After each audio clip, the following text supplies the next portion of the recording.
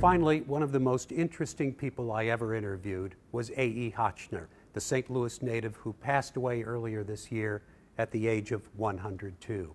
Hotchner wrote 21 books. He wrote for stage, he wrote for television. But to simply call him a writer wouldn't begin to tell the story. So you got to get, you got to touch something, that nerve inside, or you're never going to have a book. The challenge in interviewing Hotchner was that there was so much you could ask him about. Growing up in St. Louis as depicted in his autobiographical novel King of the Hill, or about his friend Ernest Hemingway. He wrote about him in the book Papa Hemingway. Then there was Paul Newman, neighbor and friend. Together they started the Newman's Own Food Line and donated millions to their charities. He wrote a biography of Doris Day and another of Sophia Loren, based on endless hours of interviews. I guess four or five months seeing her every morning from 9 to 12.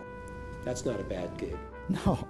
and she would come in all dressed up. There was never any downplay of her. I'm a movie star. But In fact, Hotchner knew or met so many famous personalities that he wrote a book about that choice people. I mean, it's almost like a, a kind of, not a Forrest Gump situation, but that he was he had a role in so many people's lives. Washington University drama and comparative literature professor Henry Schvey knew Hotchner for years. The most um, significant thing that I, I, could say about Hotch, he, he asked me to call him Hotch, so it feels more comfortable to refer to him that way, um, is the man's um, immense generosity of spirit. Hotchner had gone to Washington University after serving in the Army in World War II, and he maintained a relationship with his alma mater. There's a small theater named for him, and his papers are in the university archives, including early drafts of King of the Hill. Read the story of his tough Depression era experiences, and you begin to understand Hotchner's remarkable life journey. As a boy, he was left alone to live in a room at a hotel at the corner of Kings Highway and Delmar. It's now gone. His mother was in the tuberculosis sanitarium. His salesman father was on the road. Once the boy was so hungry, he cut out pictures of food from a magazine and ate them.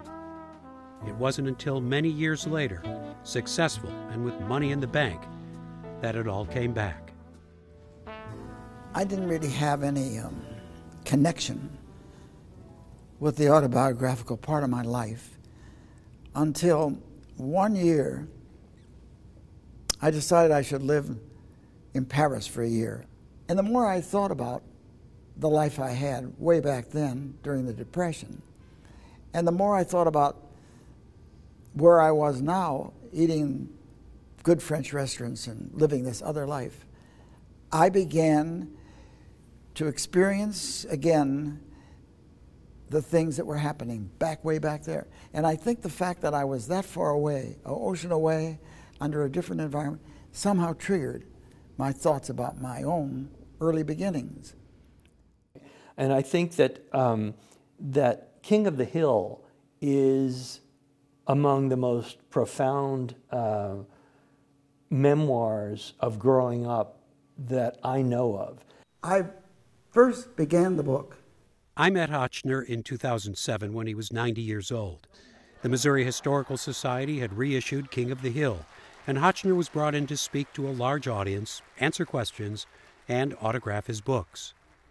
He also was able to watch some young people perform scenes from King of the Hill. But Hotchner said it wasn't just a new generation of inner city kids who understood his story. He said students in a wealthy San Francisco suburb read the book in class and sent their reactions to him.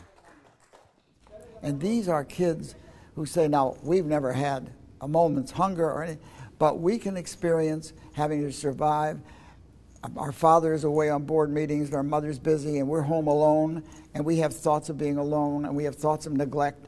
And they singled out in this boy of a time long before they were born in an economy that they couldn't possibly have experienced, and yet they were experiencing something emotionally. And you can't imagine the depth of their feelings about the book. So it isn't just kids from bad neighborhoods who identify with being hungry and broke and all that. These kids found emotionally a lot in there that they related to. Just survival on a different Survival on a different level.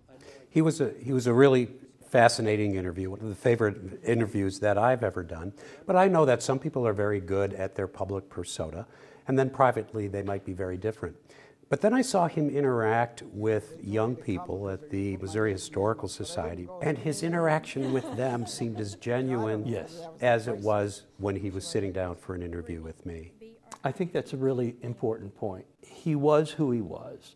I mean, I remember having lunch with him, and very, very famous people would stop by and shake his hand. And he, we were Sam Waterston, Neil Simon, uh, people who were, you know, real luminaries, and they would greet him, and then he would be friendly, and then we'd go back to our conversation.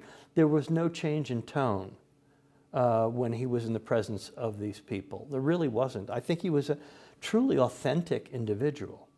In my limited time with him in 2007, I wasn't going to let Hotchner go without talking about a fellow Wash U classmate, another aspiring writer who would become known as Tennessee Williams. No, the first contact I had with Tom Lanier Williams, which was his original name, I was editor of the literary magazine at Washington University called The Eliot. And so, over the course of um, six issues of the magazine, we must have published a half a dozen of Tennessee's poems. And the next thing I knew, I was in a playwriting class with him called English 16. When Williams' play did not win the class's playwriting competition, he angrily left the class and soon he left Washington University and St. Louis. So we talk about Tennessee Williams and Hotchner at Yes. Wash U in the same class. Mm-hmm. Two people with very difficult childhoods Yes. in different ways.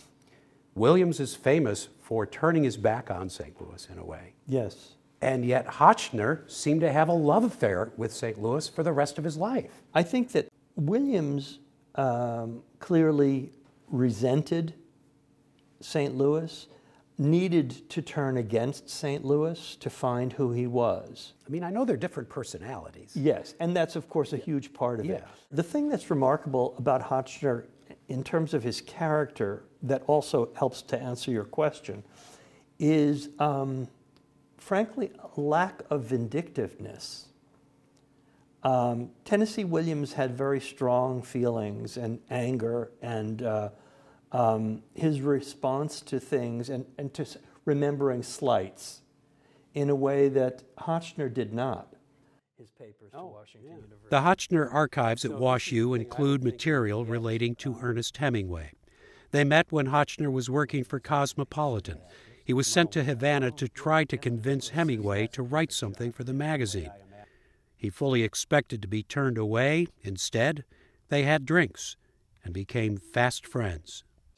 It just it occurred to me because um, that Hotch was somebody, although he we think of him as a, a person of great esteem and somebody who lived a very very long time, was also looking for a father. And the thing that's very striking to me in looking at King of the Hill is the search for a father, and um, and in some ways, Hemingway represented at least one avenue of that search. And yet, in the conversation you had with him, he said Hemingway was looking for a son. Yeah. That's, I think that that's also true. In 2017, the Washington University Library put out a series of video interviews called Hotch at 100.